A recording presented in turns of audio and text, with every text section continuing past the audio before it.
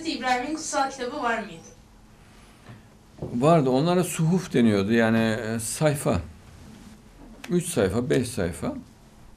Kısa kısa hükümler. O da onu yazıyordu yani. Rapt altına alıyordu böyle. Üç sayfalık, bir sayfalık bile olur. Suhuf deniyor, suhuf. Kitap gelmeyen her peygamberde var mıdır? E, Hemen hemen hepsinde var, evet. Yani suhuf olarak oluyor.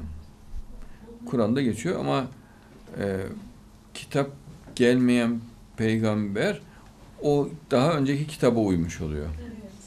Kitap gelmeyen peygamber daha önce kitaba uyar. Yoksa mutlaka kitap gelir onun dışında. Ama gelen kitap e, çok kapsamlı olmuyor. En kapsamlı Tevrat olmuştur. Ama Tevrat tabi sonradan ilaveler de var. İncil'de Hazreti İsa'nın güzel sözleridir çoğu. E, hep sevgiyi ifade etmiştir İsa Mesih. Yani ana anlatış dürüstlük, Allah'ın varlığı, birliği, adalet, samimiyet, e, cömertlik. Yani çok sadedir İslam dinleri. Yani Tevrat'ın içinde de anlatılan hep aynıdır. E, İncil'de de aynı, Kur'an'da da aynı.